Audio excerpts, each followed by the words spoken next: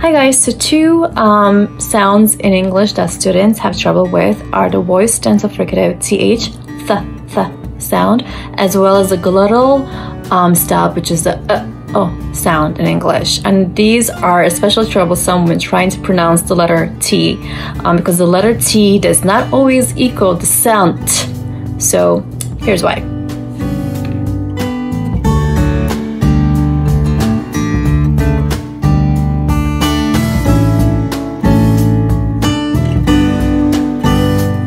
So in English, we frequently have the glottal stop, uh, oh sound, and we have it when we have two T's next to each other. So for example, when we say kitten, we say kitten, we don't say kitten.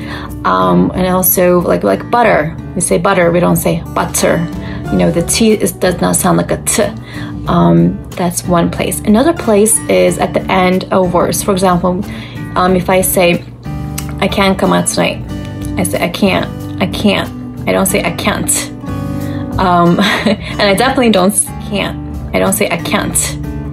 Um, and I definitely don't pronounce it in the British English way. I don't say I can't. um, in American English, of course, it's I can't. But if you notice, I said I can't come out tonight.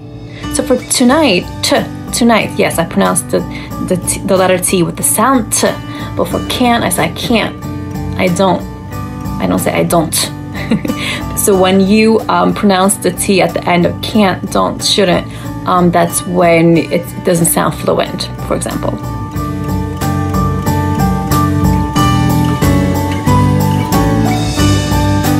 I don't want this one, I want that one, please. that. So that is difficult to, pronounce and make it sound unfluent because it has both, right? It has the TH, which we don't say T, right? We say the So we put the tongue um, underneath our um, upper front teeth, the. And um, we also don't say that. the T again um, is, is um, sounds like uh, oh stop. So it's that, that, not that, that, that. And some people can also describe it as sound a little bit like a D. So the letter T can sometimes sound a little bit like the letter D um, on the sound D, the, but um, mostly we just call it a glottal stop. So it's like a, uh, uh, uh, okay, uh, uh, okay. In Turkish bu ı gibi, ı gibi farz edin. So kitten, kitten, yani bir ı harfi var ortasında. um, so there's a letter ı in Turkish which just sounds kind of like a glottal stop. I hope this has helped. Let me know in the comments. Ch, train, tree. TR, the T sounds like a ch. Tree.